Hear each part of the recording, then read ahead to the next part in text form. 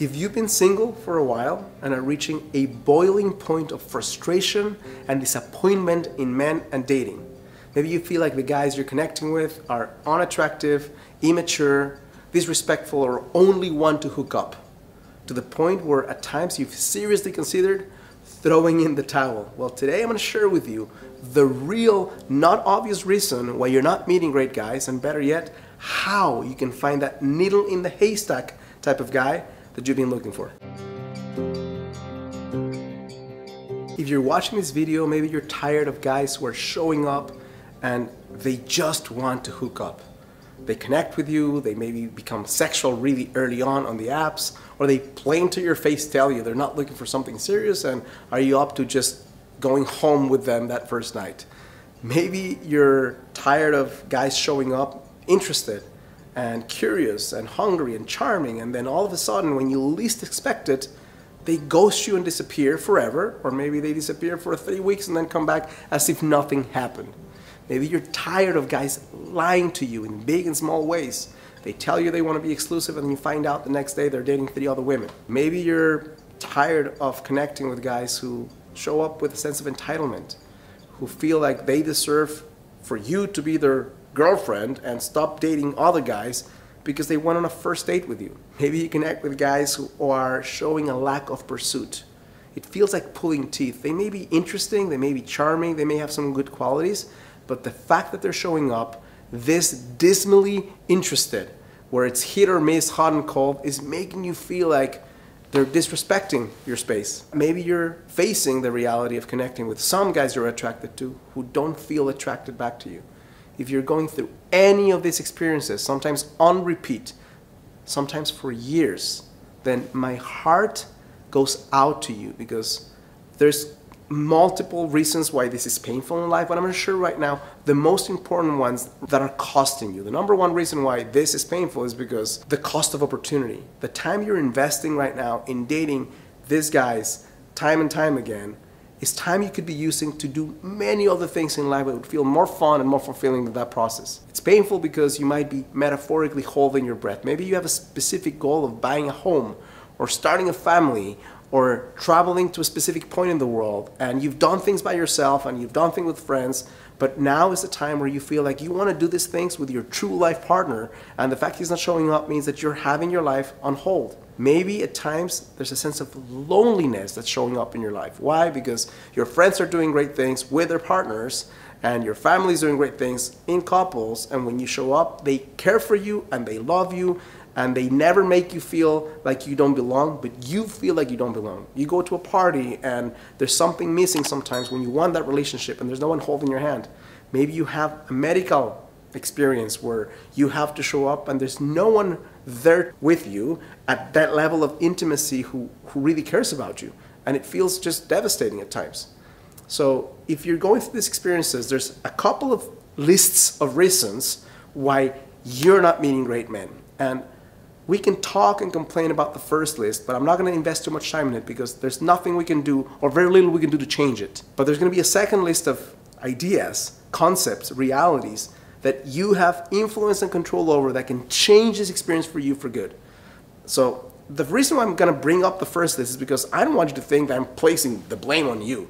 You are not meeting great guys because you're not doing enough stuff. I'm not saying that at all. What I'm saying to you right now is that there's logistical reasons that are heavy and not fun why this isn't happening as fast as it could be happening. The first one is because, let's face it, we live in a patriarchal world. It's changing, it's getting better, but for thousands of years, men have had the upper end of the stick in many different areas of life. And anyone wants to claim it's not true, they haven't stepped one day in your shoes. The reality is, many guys show up still expecting for you to carry the burden in some ways without having to put in the responsibility, without having to put in the time, the energy, the emotional commitment to be worthy of the level of intimacy that they're seeking. There's a lack of meaning in many of these guys' lives that are making them show up less than awesomely with women. Because here's the thing if a guy's unsure about what he wants in life, if he's having mental issues, if he hasn't found what he's here for, how on earth is he going to be able to offer you something of substance in a meaningful lifelong relationship? It's really, really hard for him to show up that way when he hasn't even figured out his own stuff. there's a feeling also in this day and age of disposability, right? Meaning it's not a human being that you're saying no to, it's a swipe to the left or to the right. So when you seemingly have thousands of options at your fingertips while pooping, you can make left and right decisions around this. Well, people tend to get less interested in one specific person. There's also the raising of standards, right? I think it's a very powerful, very positive thing that women are raising their standards and that men also awesome guys are raising the standards in terms of what they're looking for in a relationship. You're not just looking for a boyfriend, you're looking for a guy who's going to be an emotional partner, a physical partner, sexual partner, spiritual partner. You want a cheerleader, you want a guy who's gentle, yet strong at times. So you want a lot that hasn't fully existed all in one person in the past.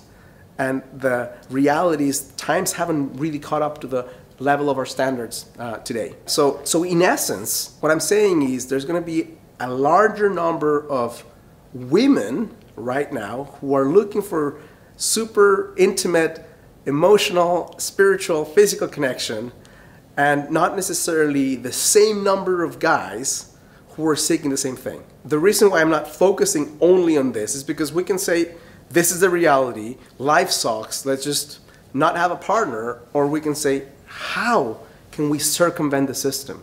How can I get what I want, irrespective of most people having the type of reality that I'm talking about right now? How can I rise above the noise so that even though this reality exists, my reality can be different than most?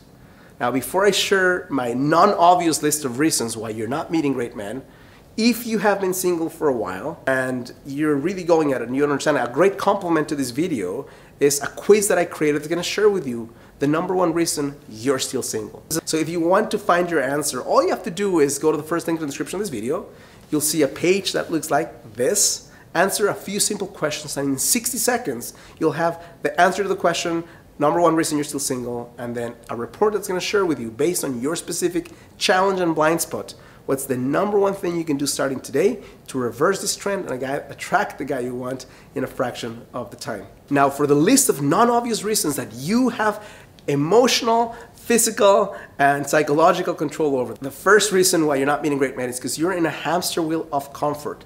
Now, before you throw a tomato at me and shut down this video, this is not what I'm saying. I'm not saying that you're comfortable dating guys who are showing up disrespectfully. I'm saying that there's a level of comfort in the thing, in the way you're doing things.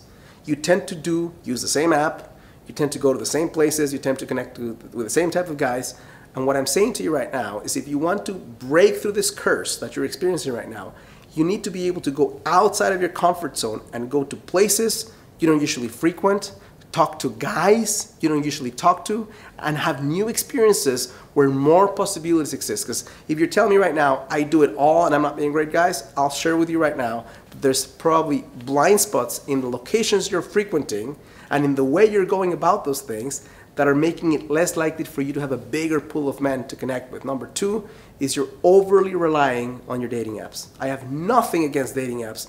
I have hundreds of clients who have met their husband or life partner through a dating app. So I believe in their power.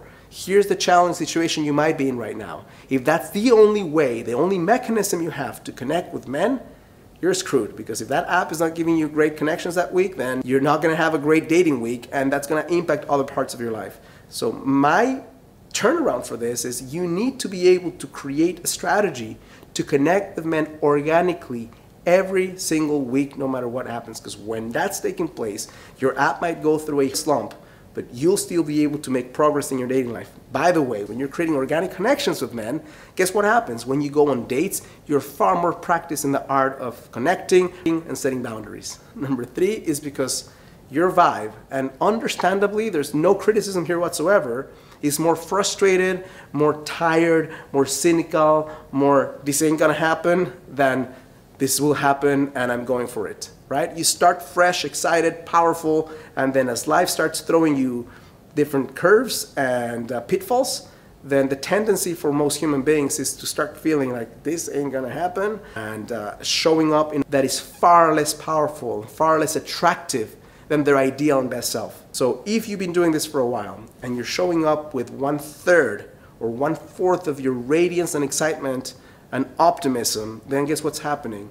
You're diminishing your chances exponentially because when you connect with a guy and the guy senses that in you, a little bit of lack of optimism, maybe pessimism, maybe even cynicism, then he feels less, far less likely to show up better for you. There's guys that you're not connecting with that maybe would connect with you if you had more openness, if you took more risks, if you made more eye contact. And it's not happening right now because the vibration you're coming at this from is, I don't know if this will happen. So the way you show up, the emotional stance you take is as powerful as the strategy. Sometimes more powerful because you can have a great strategy. If the emotional place you're coming from is not one of raising your vibe, then you're going to have to climb Everest without Sherpa, without a line, with a blindfold, uh, with no food and uh, no oxygen. It's theoretically doable, but who's going to do it? You know? Reason number four why you're not meeting great men is because you're overvaluing physical attributes and you're going for instant gratification. Here's what I mean. There's plenty of guys who are kind, generous, thoughtful,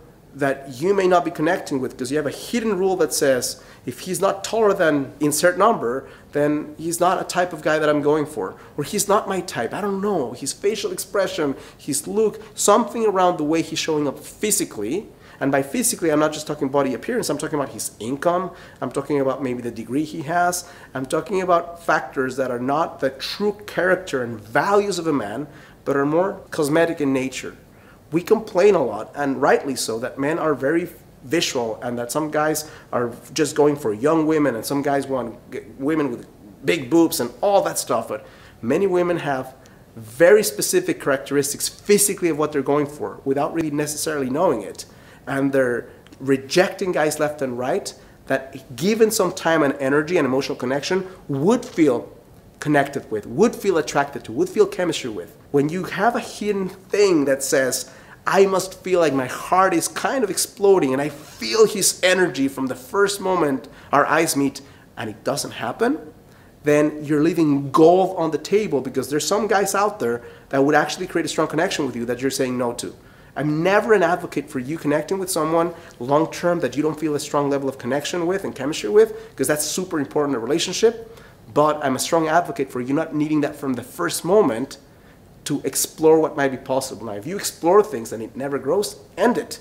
But if you explore things and things grow to a level that's far more passionate than you originally thought they would, and this has happened so many times in clients' lives that they connect with someone, I don't know enough about him, he doesn't feel so attractive to me, and then date number four, they're feeling something so strong, and this is a good guy with good values, and now something magic can happen. Number five, reason why you're not meeting great guys is because you're wasting time with the wrong ones because you're wasting time on dates you should never be in in the first place. Because you're going down rabbit holes that are taking away months of your dating experience.